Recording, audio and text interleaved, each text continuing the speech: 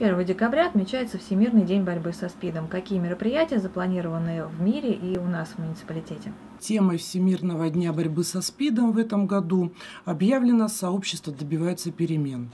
А, то есть э, помимо государственных программ финансирования, помимо государства, ну, участия в этом государства, сообщества, организации должны активно присоединиться к работе с ВИЧ-инфицированными, к помощи ВИЧ-инфицированным.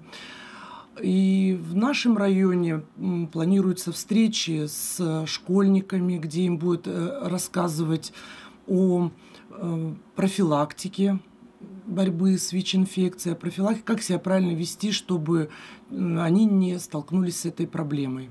Расскажите, пожалуйста, поподробнее о программе 90-90-90.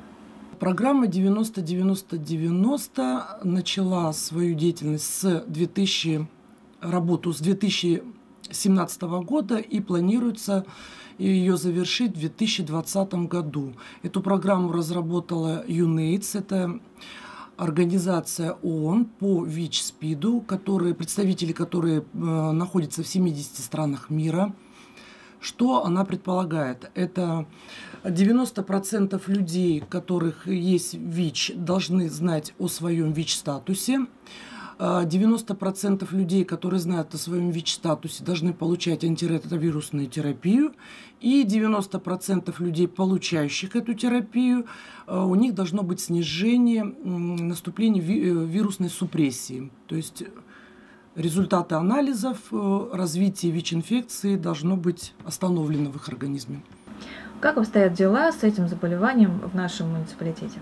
На сегодняшний день выявлено с положительным иммуноблотом 894 человека. Э, из них детей с положительным ВИЧ-статусом и с диагнозом ВИЧ-инфекции 11, которые тоже постоянно принимают антиретровирусную терапию. Э, взяты на учет 681 человек из этих э, людей в Ленинском районе, и из них получает антиретровирусную терапию 526 человек. Как сейчас диагностируется и лечится СПИД, и, собственно, как живут э, ВИЧ-инфицированные люди сейчас? Назначается антиретровирусная терапия сейчас не только по показаниям, то есть по наличию сопутствующих заболеваний оппортунистических или по плохим результатам анализов.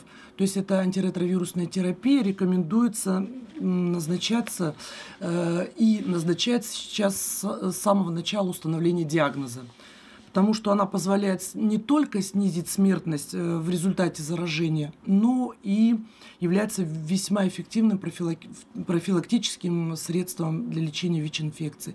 То есть концентрация вируса в организме а, она сокращается настолько при приеме препаратов, что передача другому человеку становится маловероятной. Человек должен принимать эти препараты пожизненно, потому что ВИЧ-инфекция сейчас вообще расценивается как хроническое инфекционное заболевание.